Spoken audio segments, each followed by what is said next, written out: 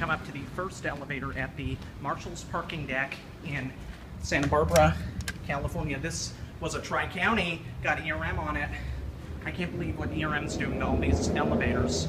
These don't need to be modernized and ERM crap gets slapped right on. There's one slap happy button replacement there. Could they have picked any worse one? Uh, metal recycling sick of seeing this.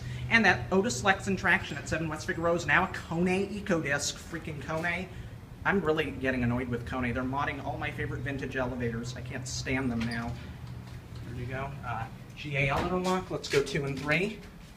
This was a Tri-County modernized, of course. This was from the, uh, what is that? Oh, this is a, oh, it's a late, uh, uh, early 80s. I didn't, I thought it was older. I like that motor. It's an epic motor. Pumping motor have been replaced. This, ooh, quick leveling. This was filmed by Alpha Alex filmed this on his old uh, Urban Elevator channel. I know the motors used to sound a lot faint, more faint and different tone, more vintage. The pumping motor were replaced, sadly. It's uh, s- recertified. That's a nice motor, though. I will say, I do like that motor. Center opening doors. Watch this big bump here. Big bump. Going down? Going down. First floor? Yes, please, Okay, thank you. sure thing.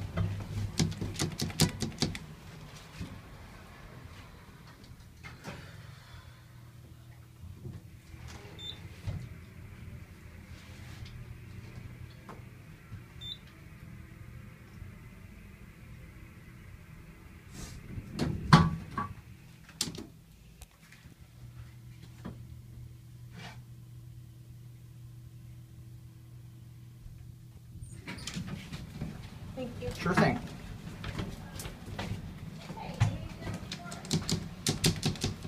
Close button works. We like that. Let's get ourselves a cam view. The Big Brother is dead. All right, uh, level floor basic cam. It's identical to those other Amtex that were modernized.